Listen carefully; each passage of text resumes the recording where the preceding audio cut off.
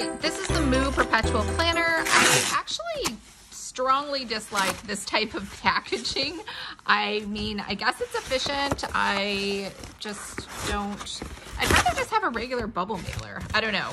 It just seems like you're trying to make a sort of soft patch pouch kind of thing out of cardboard um, so yeah, but I do like this packaging. It makes it seem like it's protected. It's nice and sturdy. So this is the Moo Perpetual Planner. And the only reason I'm showing you this is because these are something you can buy as a wholesaler and then resell as your own.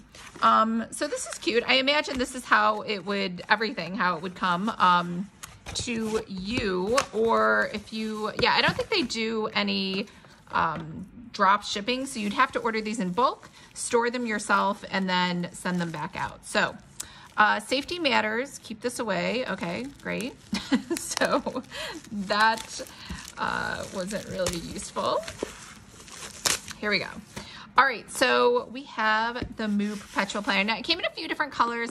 I got the gray just because it was neutral and it seemed like it would match everything else. It feels really soft, uh, even though it's just a like a cloth overlay. And Moo does that uh, weird thing where they don't attach the spine so that then it can lay flat. So if you're not a fan of that, um, which I could totally understand, this might not be the wholesale product for you to resell. All right, so in here, um, it does come with this little bonus sort of bookmark, and you could have had this in gold or silver. Those that plan do. And you can see it has the week starting on a Monday. And in here, it's one of those perpetual things where um, this is the dates, and then you kind of move it over depending on when the first day of the week happens to fall on.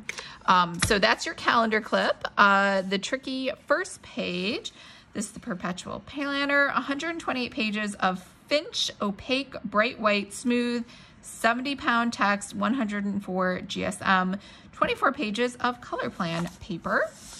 So we have over here the faintest of uh, ink. So if you like it where it's very minimal, this is definitely the planner for you. So I do like the dot grids. We have just Monday through Friday and then Saturday, Sunday double stacked over here.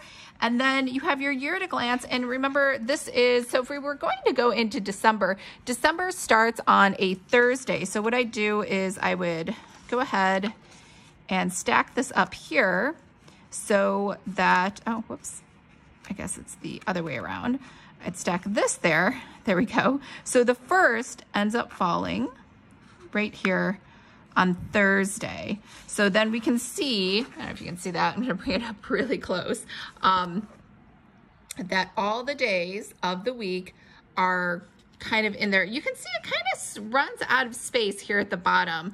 Um, so that's a little tough, uh, but you know, that's kind of what you get for having a perpetual planner. Wow, I, it's really stuck in there. Okay, so this is, I believe, just rinse and repeat. And yeah, every day is exactly the same. We have some green pages here in the middle, which are simply a thicker cardstock kind of page um, with some more dot grids. And then we go right back to that undated. And then, oh, we have line pages, so that's different. And then over here, we have graph paper, which is like a uh, diamond triangle kind of graph paper. And that's pretty much it. So these are the perpetual planners, so there's no dates in them.